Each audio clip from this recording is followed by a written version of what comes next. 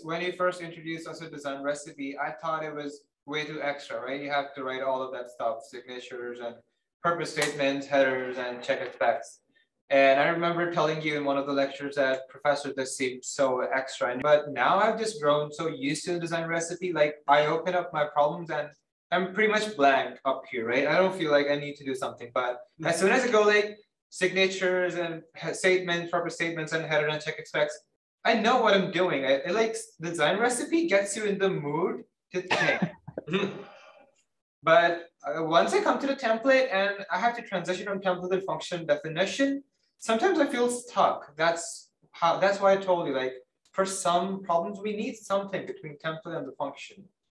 What I feel like because before knowing the design recipe, I felt like coding is hard and you have to think about it, right? But uh, but the design recipe makes it so effortless up until the template. By the time I'm at the template, it feels like it'll literally it'll help me somehow.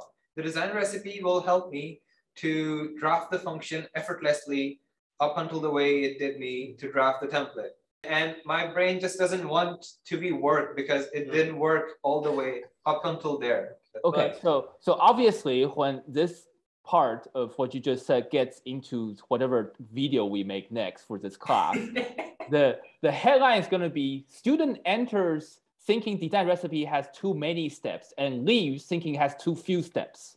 yeah, yeah, yeah. But like, I mean, like my perspective, like a little bit different because I've been programming for a while now, but like with no formal education. So like a very exciting thing, interesting thing to like really study, like how you were like do writing check-expects, what they're for, uh, the design recipe in general, and also how you're trying to convey it to the class. Because like essentially, it's like until this point didn't have design recipe, but more of like my own method of essentially a sort of form of design recipe for myself mm-hmm. because like I don't have any formal computer science education. I have what I've worked out for myself, and a lot of it ends up being something that sort of connects to a real taught concept and not something I made up to illustrate what is going on. Yeah, yeah, it, it is kind of a distillation. Like you know, some, this didn't exist hundred years ago. So like basically uh, people were like, what are we doing after we program and you know suffered for a long time? Like, what are the habits we eventually settle on, and how can we like describe it in a more concise way